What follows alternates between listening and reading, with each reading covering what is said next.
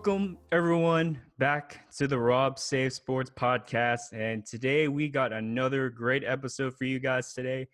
And we have another special guest on the show, nothing but the best on this pod. We got Joey Linn here. And Joey, how are you doing today? I'm good, man. I appreciate you having me. Definitely uh, always enjoy any time that I could hop on a podcast and talk some Clippers basketball because, as you know, man, that's what I love to do. So thanks for having me. Oh yeah, thanks, Joey. You know he has that YouTube channel, the Clips Convos. So all you Clipper fans, if you want to check that out, it's a great YouTube channel, great videos, great stuff from you, Joey. Thank you, man. I appreciate that.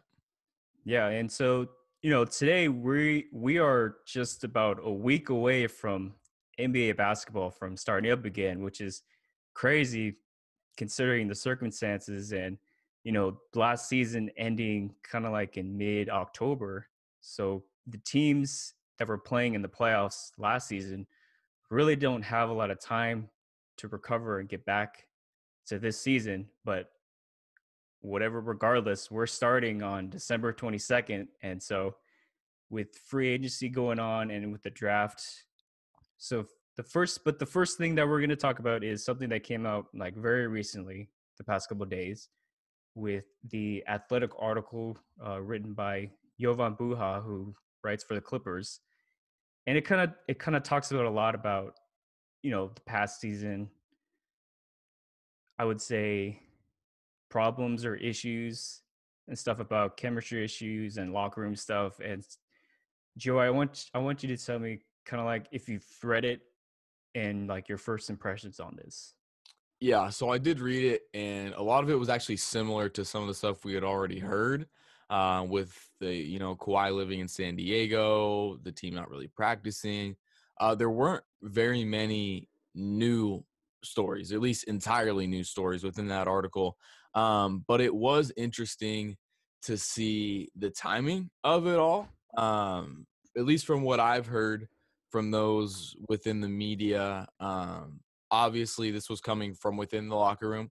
So players talking to the media and I would definitely um, discourage a lot of the noise I hear from Clipper fans who want to say it's entirely made up because um, as as somebody who knows and respects Jovan and his work, I don't think he would just entirely make stuff up. I, in fact, know that most of the um, stuff that he reports is actually from very reputable sources. So um, this did seem as if it came from within the locker room, but I guess that kind of raises the question. All right, well, where from within the locker room. I think there's a culprit. Um, Clipper fans don't probably have to look too far uh, to take their best guess on who it was that was leaking this out to the media. But um, with that being said, I'm encouraged to know that Trez is no longer part of that locker room and Doc Rivers is no longer part of that locker room. So I think that's going to be refreshing for the team. Um, yeah, they're still going to have some of the same issues, but at the same time, uh, two of what I deem the biggest issues are are now no longer on the team. So that's definitely encouraging for me. Yeah. So are you are you confirming that it was Trez who was leaking the stuff to the media? Well, I can't I can't confirm that, no, mm-hmm. but it definitely does seem that way because especially like I said, I brought up the timing because with the season starting in in about 10 days, less than 10 days now, um, I can't imagine any current Clipper players being interested in continuing to bash their teammates from last season, knowing that they've kind of turned that page and are now looking to to move forward. Um, and I do know that obviously Trez was speaking to the media um, in that Chris Haynes story uh, on the on the bubble afterwards, where he was talking about how Paul George, you know, you can't tell him anything; he's always right. Like that was obviously coming from Trez in his camp. Um, so I know that Trez has spoken to the media in the past regarding chemistry issues. This seemed like another Trez bit, but I can't confirm that um, through any sources or anything like that. But it does does seem to be the case if you just kind of deduce a little bit.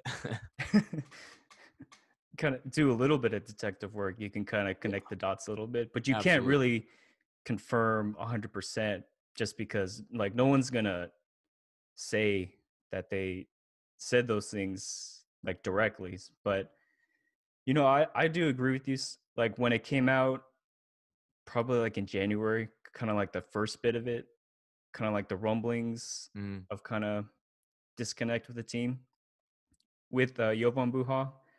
Uh, at the beginning, I was a little bit okay. I don't think this is that big of a deal. But then as the season gone on, and then during the playoffs, and now with everything coming out, it kind of makes a lot more sense that how much there was just kind of disorganized Yeah. throughout the season. And that could be, you know, that that was pretty much a lot of things. I don't think it was one specific thing that was happening. It was Paul George not being ready to play for the season at the start. And so they had to wait for him. And then Kawhi had to sit out when Paul George came back. And I don't know how many exactly how many games they played together exactly this season, but it wasn't a lot. Yeah, so that definitely impacted what we saw in the bubble, and I don't think you can really understate that. Um, and that's another thing that gives me excitement for the season going forward is that, um, you know, Paul George caught a lot of flack last year for saying that it wasn't a championship or bust season. Even for myself, I mean, that was frustrating to hear as a fan because it did seem that way from all the marketing from uh, the Clippers themselves, as well as some of the comments here from the players.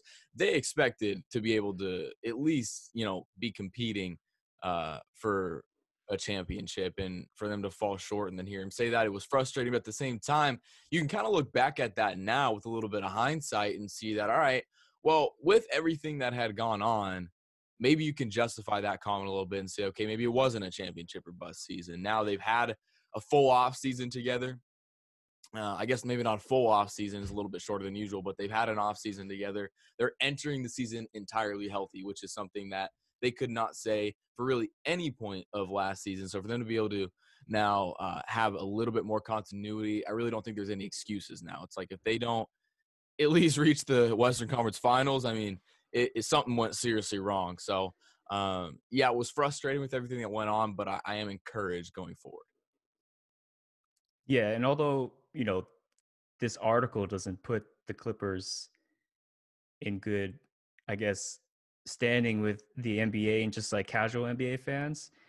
At the same time, it's like if you would have asked 30 out of 30 teams, I don't think you would have any players kind of like if you have star players on that team, having the other players kind of be a little bit of resentment towards those players who are getting that star treatment because you got to believe that it's not just the Clippers like Kawhi and Paul George that are getting that type of star treatment. I mean, the whole league has a bunch of stars in it. So I think that kind of seems blown out of proportion. But at the same time, with PG and Kawhi, I think this season there has to be a bit more of accountability within those two. And then especially the coaching because you know, with the the season ending so like disappointing for Clipper fans. I think a lot of it in the beginning was, you know, oh, should should the Clippers trade like one of the two stars to to try and like see if that would work? But all the other, all the trades that were kind of just like being thrown out, all the rumor trades, like none of those trades seemed like it would be a positive for the Clippers. But I think the most important thing that they did this offseason was not trading anybody but firing Doc Rivers. Because there's there's always been this disconnect and kind of like disappointment with him for this with the Clippers during his tenure. Like to have all that talent for all these years and not get to the conference finals. I think at some point there's got to be accountability with him also. Oh yeah, absolutely, and that's actually what I noticed um, and mentioned in my last YouTube video was because a lot of people have said because of the great collapse that the Clippers need to to do something drastic, right? They need to find a way to trade for a third star. They need to find a way to, you know, really shake this roster up. But man, I said they did something drastic. They did something significant, and, and it was firing Doc Rivers or or replacing him with Ty Lue. So um, that's very encouraging to me to know that they actually are that serious because he's been their guy, right? Like he's been their guy um, for the last better part of a decade. So for him to get fired, it shows how serious this team and this organization is about winning. They weren't going to risk another collapse like what we had last year. Yeah, because they could they could have ran it back with uh, Doc Rivers. They could have they could have you know had the excuse, oh, this is not normal at all. It's like there's so many different parts and pieces that didn't go their way with the circumstances, but at the same time, it seems like it's a pattern of him for the playoffs. And I think it, his voice in the locker room just kind of went, it kind of went worse and worse to the point where they needed a new voice. And like, even though Tyronn Lue was on the bench uh, last season, you know, he's still the assistant coach. Like, Doc Rivers is going to have the final say on everything. Yeah, no doubt. And I think that's like I said, what excites me is that Ty Lue already has said a lot of encouraging things to the media, stuff that I think we as fans want to hear.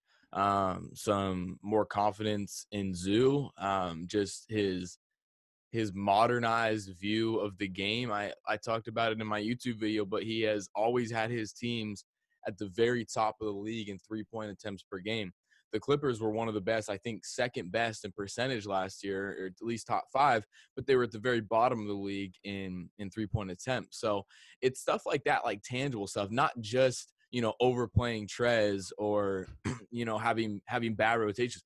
There were some real tangible basketball reasons why the Clippers underperformed last year, and and one of them is what I just mentioned. So already hearing Ty Lue speak on some of these things, some of these things, and then as well as seeing his track record on a lot of these things, it, it's encouraging. I think there is some real reason for optimism uh, with this with this coaching move.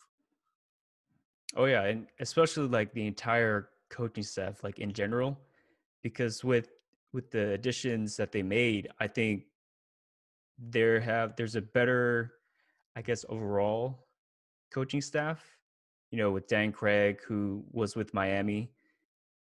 Uh, and also the person that I wanted on the staff is uh, Chauncey Billups on the on the on the coaching staff. I think that to me was probably in regards to getting getting that leadership on the team. You know, this is going to be his first year uh, coaching, but from from me listening to him uh, doing the play by play for the Clippers, I think he has a great understanding of how basketball is played today. Like, even though he played in kind of like a different generation, to say, in while, while he was playing, I think he's been able to adapt, and I think he'll bring that leadership and kind of like his mentality to the team. I think that's a really good positive, and I think all the coaches on that staff are going to be extremely valuable for the Clippers now, but also in the future. Yeah, absolutely. And I think that that's what they were looking for because, you know, if you want to talk about just Chauncey, he's a guy who's not too far removed from the game. So I think there's a good connect there with him and the players. Um, and I guess in a in a smaller way, similar with Ty Lue, is that, you know, it just wasn't that long ago that he was in the league as well. So um, there's definitely a, a relational aspect there that I think is going to be important. But even more importantly, like you mentioned, you have that basketball side to it where these guys actually have a really positive basketball track record and you've seen what they've done throughout their career both on the court and then also on the sidelines and that goes i mean from ty lue all the way on down um, you know billups atkinson craig like you mentioned i mean these are some guys who have some really positive track records and, and positive resumes as as it pertains to to coaching so I'm encouraged by that. I think it's going to be, I mean, a breath of fresh air for Clipper fans who have been frustrated, feel as if they've seen the same thing time and time again. Uh, this is going to be different. And, you know, we don't know exactly what it's to look like, but we do know it's going to be different. And that's what they needed. They needed something different. Yeah, they needed to change things up. If they were going to change kind of like the, their main roster, I think changing the staff was probably a much a bigger step because I think that could have a just as much of an impact as either making a like a big splash or trade or big signings for the team. And so going with the staff, we can move to like the players on the team. And so, you know, with the free agency, we've had at the start of it, it kind of looked it didn't look too great. You know, you had Trez signing to the Lakers, and then JaMychal Green signing to Nuggets. Then they gave the contract to Marcus Morris, which a lot of people seem like they said that they overpaid for him. But just by looking at the contracts that other people are getting, you know, you're not going to get a starting four paying just maybe a little bit over what Marcus Morris got. Cause I'm looking at the contracts right now of like all the starting fours. They're all getting 20 or like 18 plus. And for him, he's making around, I think, average 16 or 17. And also, there weren't that many to begin with. So I think overall, they addressed most of the issues that they've had that they needed to add to the roster. So what do you think, Joey? Do you think? Yeah. So with the Marcus Morris deal, um, I guess in theory, maybe they overpaid a bit. But the thing is that they had to. They had to bring him back with what they gave up for him, giving up a first round pick um, to get him and to not only get him, but to get him to fill a very vital and important role. And we saw how important that role was in the playoffs last year when he was at times their second best player, their second best scorer. I mean, there were there were multiple games in the playoffs where if they didn't have him stepping up and making shots, I mean, they they would have lost those games. Um, so to have him back is definitely a must. I mean, they had no choice; they had to get him back. So um, you can argue whether or not they overpaid by you know a few million per year, or maybe you think the contract's too long. You know, maybe you have a case there, but uh, that doesn't really change the way I view it because they had to have him back. Um, so I'm happy to have him back. I'm encouraged to have him back after he's already had a little bit of run with the guys. Obviously, he kind of got thrown into a role last year that uh, was maybe a little bit bigger than he had time to prepare for, but I think he did a great job. So um, I'm excited to see him back. And you know, the people who think the Clippers overpaid, man, those are the people who are going to hate on whatever they did anyway. So um, I'm I'm good with it. Yeah. Do you who do you think was going to make the biggest impact as far as like new signings or new trades on the Clippers? So I think Serge Ibaka is an easy one to look at because obviously he's the Trez replacement, right? They replaced Trez with a guy who's, I mean, a more championship friendly player. It's just just put it put it like that. Um, he can obviously defend the rim a little bit better. He's a seven footer. He's got a, a really good track record of of interior defense. Um, but he can stretch the floor. I think that's going to be the biggest thing that they're going to get from him that they didn't get from Trez. That as you know, gifted as Trez is offensively, he obviously doesn't do a whole lot outside of the paint, which really limits what the Clippers are able to do as a whole offensively. So uh, Ibaka is going to be big, but I'm really high on Luke Kennard. And if you watch my my last YouTube video, I I really do think that he's going to do great things for the Clippers if he stays healthy. I watched a lot of him in Detroit, being a Blake Griffin fan, and always wanting to uh, check in on their games. So I've seen him play a lot, and man, he is he is a lot better than people give him credit for. I think he's kind of been pegged as as just a shooter. Um, and yeah, he can shoot, but he can facilitate. He can create his own shot. He can make plays for others, and I think that's where you're going to see his biggest impact this year. Um, and it's what I talked about. Um, I don't have the stats in front of me, but what I mentioned in my video is that only around 50% of his three point baskets last year were off of catch and shoot attempts, as opposed to Landry Shamet. He was at like 80, you know, 85% of his uh, three point baskets coming off of catch and shoot attempts. So that means Luke Kennard is creating a lot of shots for himself, which is something that Shamet didn't really do. So I'm very excited to see what he can do within this offense. Hopefully, get some minutes alongside Kawhi MPG, and then uh, see see see what happens from there. But yeah, so those two guys, I'm super stoked to see. Oh yeah, for sure. And I I didn't watch a lot of Piston games, but I do know of Luke Kennard because of his uh, fantasy basketball. Because he did he did provide kind of like like solid value as a fantasy pickup. So then I did watch a little bit of him. And just by going with that, I think he adds a lot more like offensive versatility besides uh, Shamet, who's kind of like just like a spot up catch and shoot three three guy. Like he can handle the ball really well. Like his assist to turnover ratio is like very good for someone who isn't really considered like a natural point guard.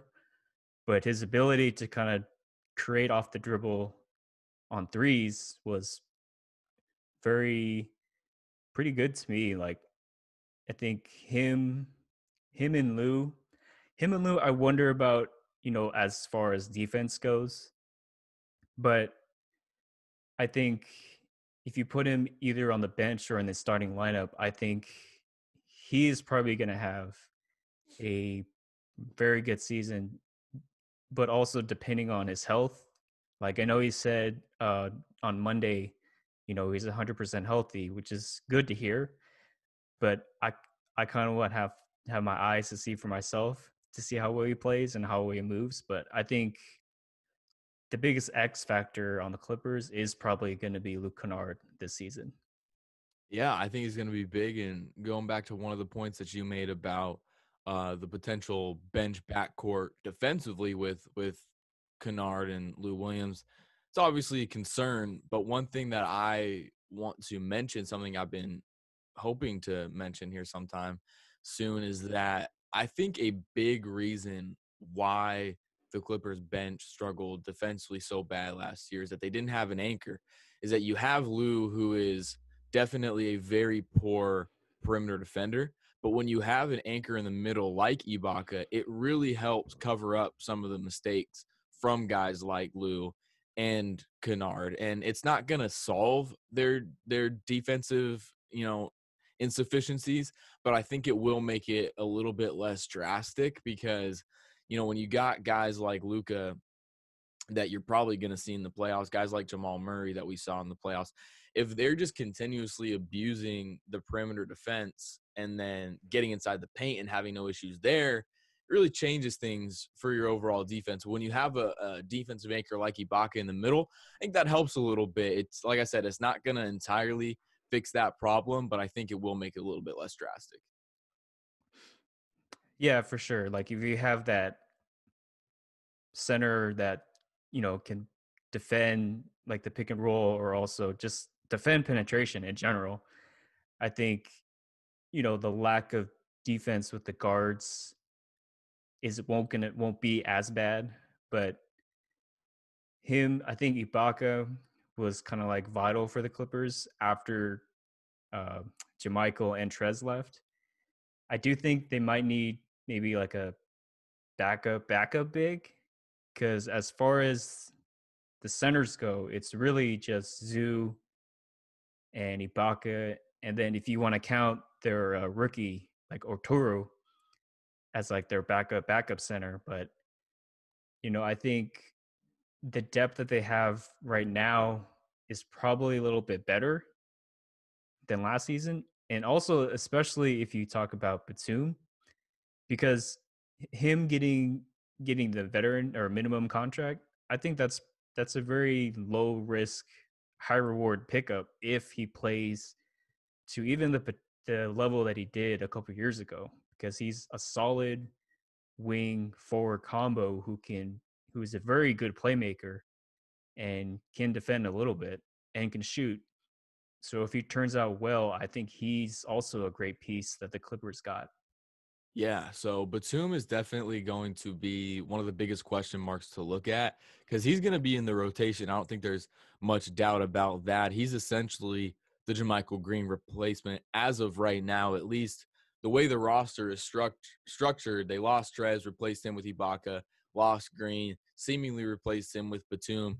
So he's gonna he's gonna play. Um, and what version of him they get, I think, is gonna matter um, and I'm a little bit skeptical because of how poor he played last year.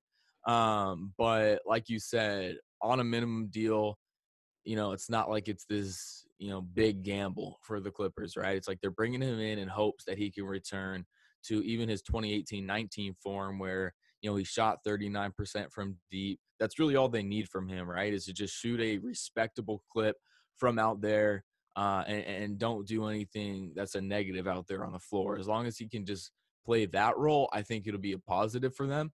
Um, and it kind of reminds me of what we saw with Patrick Patterson, where it's like he came in, you know, I was really skeptical. I didn't think he was going to be any good. And then, you know, he shot 39% from deep as well. So if, if Batum can do that with all the intangibles he brings, both you know defensively and and playmaking wise, it'll be a good signing, and I think it'll be important for the Clippers that that happens. So we're just gonna have to wait and see.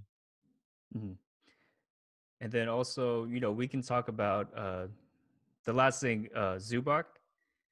So in the playoffs, you know, it really showed how much how much more valuable that Zubac was to Clippers than to Trez. I know you could I know you've said it on your videos.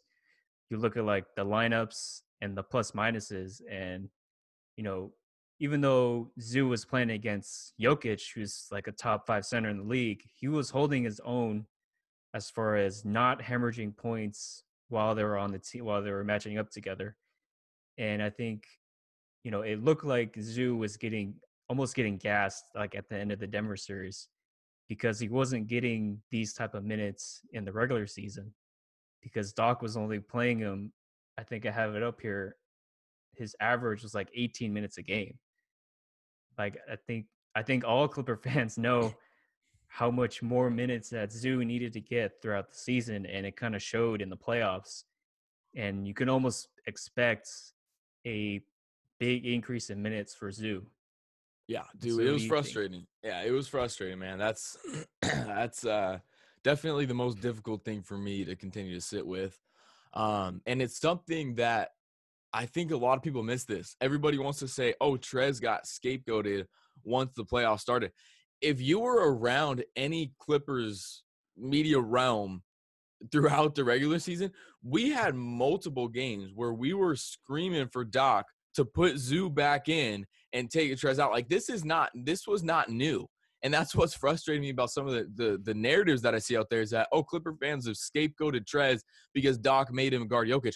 No, this was an issue far before the Denver series, and it was an issue in the Mavs series as well.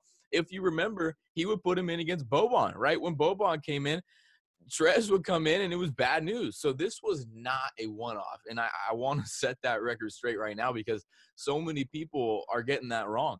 I mean, if you if you go back, yeah, we loved Trez. I mean, I'm not gonna I'm not gonna deny that. I mean, I love Trez. He was a fan favorite. I mean, especially in that 2018-19 season, he was one of the guys, and I, I really did think that um, he was going to be a big part of what the Clippers did, but it had to be in the right role and that never happened. And so yeah, it was frustrating, man. I mean, Clipper fans were talking about this for a while. It was a concern for a while. And you know, I actually, you know, I had some stuff age poorly last year, obviously. I mean, I was super confident in the team and when they collapsed, and I didn't anticipate them collapsing in the second round, but I did have have some stuff that that I I nailed pretty spot on and one of them was my preview for the second round series with Denver I talked about it in the video. I said Doc Rivers is the only person who can stop the Clippers in this series. And I said it will happen if he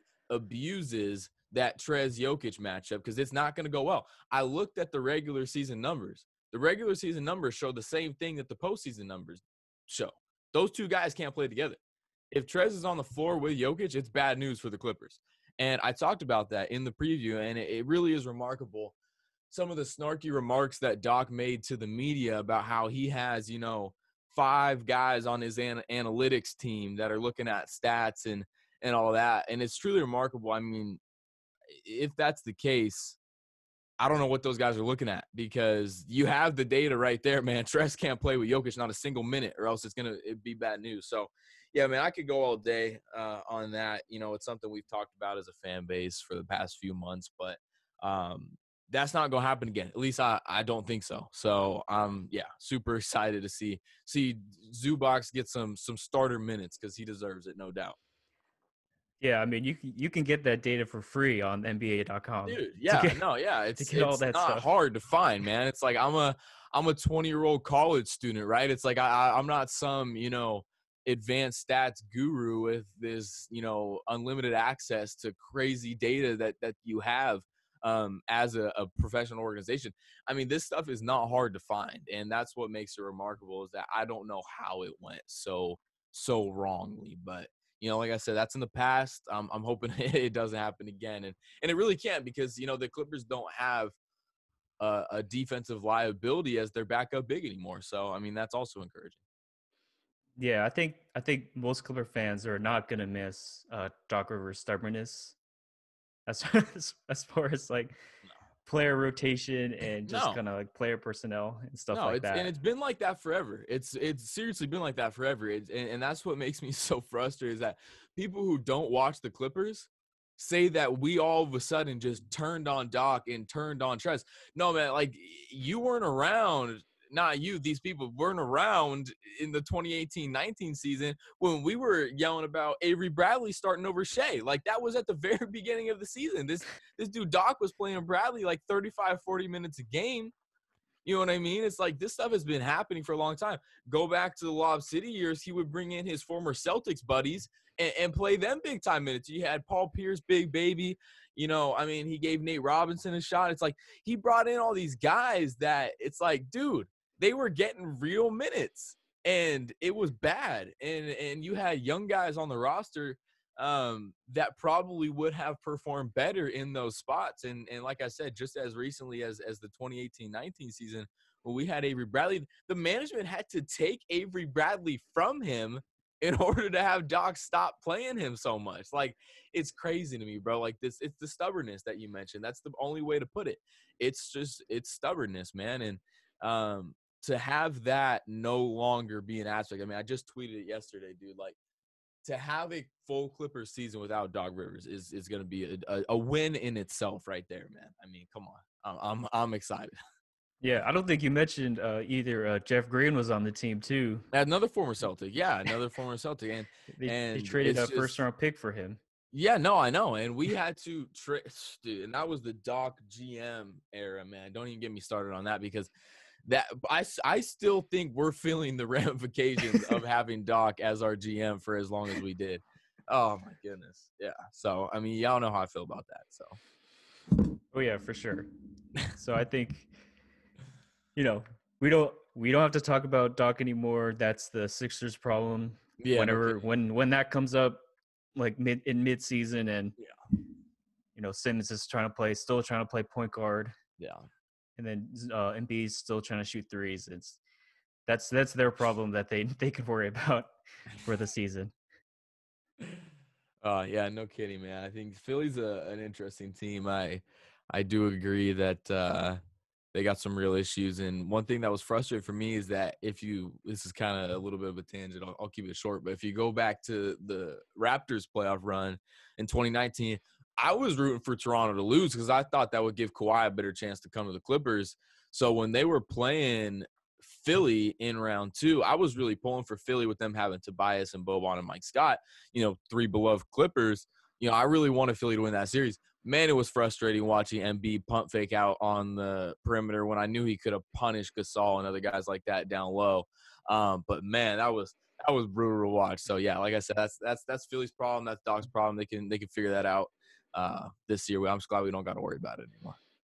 Yeah, to to go with like the general NBA season, because we had you know we had a lot of free agent changes, a bunch of trades, and so I just wanted to get your opinion on like kind of the overall NBA. Because which which team do you feel like made the most during this off season to get better? Yeah, so I was actually talking to somebody at my work about this just yesterday, and it's really interesting to see that everybody talked about, all right, we finally got league wide parity, right? It's like once KD left Golden State, there's no longer a guaranteed championship. And while I agree with that, it's still very interesting to see the way the league is constructed. In the last 10 years, with the one outlier being Dirk's championship in 2011, every championship has won- been won by either Steph Curry, LeBron James, or Kawhi Leonard. And if you want to add KD to that list, you can, but he didn't win any on his own. He either he won two with Steph. So you can add KD in there because I do think he's in that tier. But if you don't have one of those four guys, your team's probably not going to win at all. And we've seen that, like I said, for the last decade, with the one outlier being 2011. So while I do think teams like Phoenix made good moves, um, you know, Golden State, they made a nice pivot getting Oubre. Um, you know, Brooklyn's going to be back. Uh, see what they do with the whole Harden situation. There are some teams that made some some good moves, but like I said, if you're not one of the teams that has one of those top tier guys, you're probably not going to win at all. So while there are some teams that made some nice moves around the edges and I think are going to be better than they were last year, um, I still think it's it's the Clippers and Lakers in the West, and you're probably going to see the East a little bit more wide open, um, depending on what happens with the Harden and Brooklyn situation. If that happens, you probably can pencil them in as Eastern Conference champions. But um, until that point, I think you're to have you know Brooklyn, Milwaukee. You got to give Miami some respect, um, and and you know maybe Philly and Boston kind of competing for that Eastern Conference title. So, um, but in the West, man, I really is as long as there's no more malpractice with the Clippers, it seems as if it's going to be you know the Lakers and the Clips. Hopefully, we finally get that this time around. But yeah, it's kind of my opinion on the way the league is is starting to shape up. Yeah, I kind of I kind of agree with you. Like all the other teams, they made uh, pretty good free agency stuff and trades, but at the same time, I don't think if you look at maybe how the standings are going to shape up, I think it's going to be pretty much the same with the West and in the East. There might be a couple drop offs.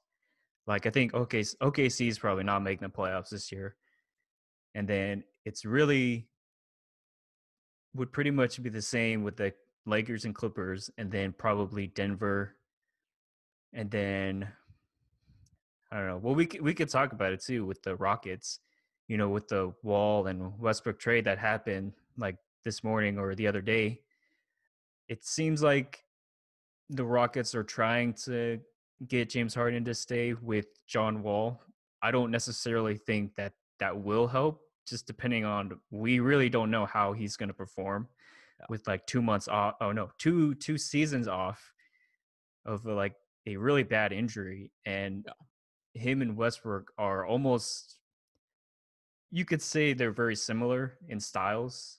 Like they're not great shooters, but they get to the rim and they can play make. They're really the same, so I don't see that making a great impact on either the Rockets or Wizards. But what do you think, Joey?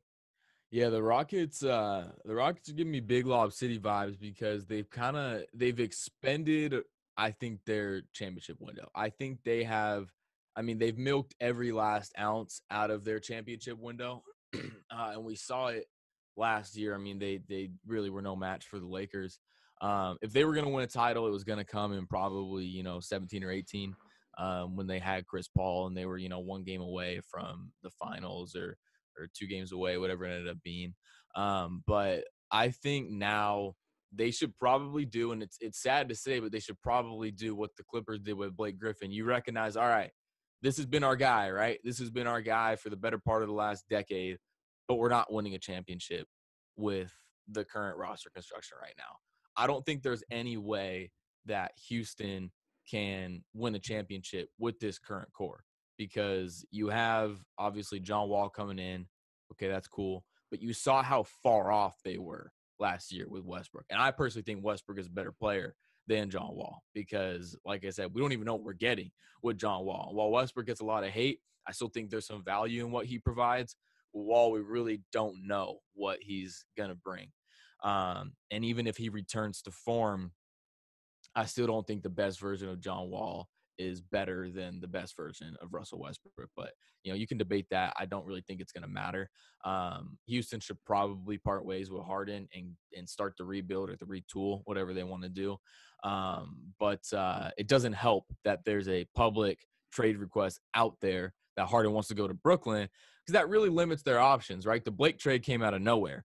If there would have been public rumors that Blake Griffin wants to go to a certain team, they couldn't have gotten what they got from him from Detroit because a team like Detroit would never trade for a superstar that doesn't want to be there or that's going to leave. Obviously, it was a little bit different situation when Blake he had more years left on his deal. For Harden, it's even worse because he's only got two years left on his deal. What team is going to, you know, unload all the assets to get a disgruntled star who doesn't even want to be there, right? So I think that really hinders what Houston is able to do. Um, but they probably should find a way to part ways with Harden um, and and start the rebuild or at least the retool because I think that they're they're done, man. I don't think that they can can win a championship with the current roster construction. Yeah, and I think the best case for Harden is probably to go to the East because there's you know there's going to be far less competition as far as like the West teams in the playoffs and the only team I know that he's talking about Brooklyn, but the only team that would make a little bit more sense to me is the Sixers, just based on if you're trading him with, if they want to uh, trade for Simmons, I think that makes more sense for kind of like both teams. Oh you can dude. have Simmons. Simmons doesn't need to play point guard. Yeah. for your team. No, Philly should do that, dude. Philly should do that in a heartbeat. And I think if Philly decided, like I said, I'm not in on these conversations. I don't know. But if Philly decided, all right, yeah, we'll part way with Ben Simmons to get James Harden, I really do think that Houston would would do that in a heartbeat because Ben Simmons alone is worth significantly more than the entire Nets package that they would send over for James Harden. So I think, like you said, that'd be a big win for both teams, right? Uh, Houston gets their guy to start their retool. I think Simmons is a guy that a lot of people would like to play with, so it's not it's not uh, a type of star player that's really hard to build around. I mean, he's he's a he's great at what he does.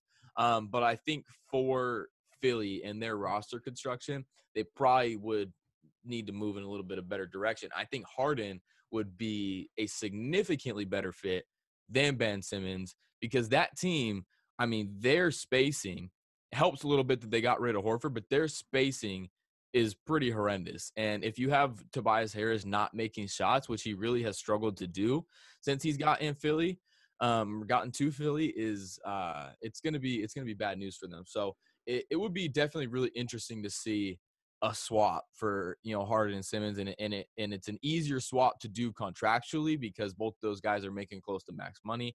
Um, but I don't think Philly's interested, which is is probably an L on their part. Uh, I think they should get in on that, but you know, I'm not I'm not their GM. Yeah, just like the similar swap they had with uh, Westbrook and Wall. Like the only issue is that with the Sixers is I don't know how that's going to work with Doc. Basically, Well, not I too many things I- work with Doc, so well, we don't we don't gotta we don't gotta deal with that anymore. yeah, we don't gotta go back there. Yeah, no we don't gotta go back. Keep that but so with the so I just want to get your kind of like predictions for this upcoming season for the Clippers. Like where do you see them in the seeding? Like what players do you think are going to stand out for the season? Like what's your prediction coming up? Yeah, so I see them getting the second seed again. Um, obviously, the Lakers they deserve that respect uh, after being the champs and after after getting the one seed pretty easily. I think they they deserve that respect, and I also think that I think that they're going to be better in the regular season this year than they were last year because Trez and Schroeder are probably going to help them win ball games in the regular season. Like those are two guys that add a lot of what they did not have last year, which was another creator, which is Schroeder. Like aside from aside from him, I mean that roster last year, they didn't really have anybody else who'd go get their own shot outside of LeBron and AD. You know, you had Kuzma kind of trying to play that part, but but Schroeder's that guy. Like he can go get his own shot. So whether he starts or comes off the bench, he's going to be big for them. Trez, as we know, can go get his own baskets. So those two guys are probably going to help them win a lot of regular season games. It's going to be the postseason where those two guys, um, their shortcomings are going to be exposed a little bit more on the defensive end. But uh, I think they will help the Lakers get the one seed. I also think the Clippers will end up with the two seed again because you're going to have Kawhi not playing back to backs. Uh, you know, you got injury concerns, obviously, with Paul George. That's always a concern. Pat Bev. So if they miss any time, you know, it's probably going to be a sim- similar situation that we saw last year where it's like, all right, they're still good enough to get the two seed, but they're probably not going to be healthy enough or available enough to compete for the one seed. Um, but it doesn't really matter, especially with no fans. It's like it really doesn't matter. Um, as long as they get that top four and don't have to worry about, you know, traveling. Um, since we are going to have travel this year. Uh, players that I expect to stand out, I talked about Luke Kennard. I think he's going to be big. He's going to surprise a lot of people. Um, I really have high hopes for PG this year. Um, you know, I I don't know exactly what we're gonna get from him. I don't think you ever really do because there's obviously a, a lot of different factors with him. But I do think Ty Lue's modern view and modern approach to three point uh, three point efficiency and, and, and three point frequency is going to help PG because he's he's a fantastic shooter, um, and him being encouraged to get up 10 threes a game, I think will help him. Um, so those are kind of some of my predictions. I'm not going to predict um, what I think the Clips are going to do in the playoffs because that got me in a little bit of trouble last year. Uh, I'm gonna just I'm gonna just say I, I think they're gonna they're gonna be better than they were last time around. I think everything points to that. Um, but you know we got to see it. Championships aren't won in the off season; they aren't won in the regular season. They're not won around one won around two. Like you you gotta you gotta get through all those phases and and you know be there standing strong at the end to be able to win a title and we saw that last year it's not easy so uh, i'm not going to try to predict um, you know where they're going to end up in the playoffs but i am encouraged by everything that i'm seeing so far. Oh yeah i'm kind of agreeing with you like 100% i think they're going to finish similar to where they finished this season. I hope my hope is that the the health issues for everyone like stays relatively low. Like not there's not a lot of people sitting out, not a lot of time missed with guys not being able to practice together and things like that. But then, you know, you know, myself and Joey, we're not predicting what's going to happen in the playoffs. We know that they're going to make the playoffs, and we hope that they do well in the playoffs. But just to make sure that everyone knows, like we're not predicting anything that's going to happen in the playoffs because we've seen that before. You know, as Clipper fans, we've seen this not once but numerous times in the playoffs. So. Yeah. No, yeah, we're, yeah, we're not making any. We're scarred, here. man. It's it, we're gonna we're gonna we'll celebrate if and when anything fun happens. But until then, man, I'm not. I can't expect anything anymore, man. It's just too much pain, man. Too much pain. yeah, and so you know, for the end of this uh, episode, we can talk a little bit about you know our Clipper fandom because I don't know for you, but I think for me that the Lob City error like really really set my Clipper fandom with the team, like especially even before because I I was a Clipper fan before they got Blake Griffin, and so him coming to the Clippers just like really elevated my uh, fandom for the Clippers and just like loving the team like you know regardless of all the the missteps and kind of like this disappointments but you know what what about you joey? Yeah my story's similar so um i've told it on a few different podcasts before but uh when i was about because i'm 20 now so when i was about nine years old eight nine years old my mom one of her best friends from high school married brian cook who was a former clipper um and obviously wasn't one of the greatest Clippers, but he was on the Clippers. And, and, you know, uh, we spent a lot of time over at his house because my mom was super close with his wife. Um, so I kind of grew up um, looking up to him, like, all right, like that's an NBA player, right? You know, I didn't know, you know, for all I all I knew that could have been LeBron. You know what I mean? It's like for a little kid, I was a baseball baseball guy growing up. Um, but my introduction to the NBA was Brian Cook, and he was really close with Ryan Gomes and Craig Smith and I got I got a chance to meet those guys. Like the first ever autograph I got was from Craig Smith on my Clippers hat. Gomes signed it, Cookie signed it. So like those were my guys. So I started watching the Clippers for Brian Cook, Ryan Gomes, and Craig Smith because I actually had the chance to meet them and hang around them a little bit. Well, that was the year that Blake was hurt, right? His rookie, his true rookie season where he was hurt. So I, I watched that. I think they won like twenty something games. Um, and I remember there was like 20 games to go. They were like 20 games back from first, and I was still rooting for them to win out and you know make the playoffs. Um, and then the next year was when Blake debuted, and that's obviously when I fell in love, man. I mean, I if this is what basketball was about, man, like I wanted in, and you know we were lucky, man. We really were spoiled. So to have that as as somewhat of my introduction to the game of basketball is why I'm so passionate about it, why I love it the way I do and uh, essentially why I stuck with the Clippers, man, because you know I've been through all of the recent heartbreak and collapse, and when they somehow break out of that, whether it's this year, you know, next year or sometime when I'm I'm an old man and they, you know, find a way to to get out of the second round and, and you know, continue to to progress. Now I'm gonna be hyped, man. It's gonna it's gonna mean more than if I would have jumped ship and and gone and, and cheered for the Lakers. You know what I mean? It's just eh, that's that's how I feel about it, and that's how I'm going to continue to feel about it. So, um, also with that being said, Clipper fans I can relate to them more, man. It's like they have accepted me, they have encouraged me, um, they have really uplifted me throughout my journey as you know an analyst, a writer, video producer, whatever. Um, I don't know if other fan bases would accept me in that way. It's like you know, Clipper fans, we all kind of have this one thing in common, and it's that we've never seen real success before, and we're still waiting for that. So we don't have any real um, pride in past accomplishments. We're all living in the moment. It's like anything that that is gonna be successful for us is gonna come in the future. Like we don't have any past success, so I think I can relate to Clipper fans a little bit more in that way as well. So yeah, that's kind of a little bit of my rundown on on my Clipper fandom.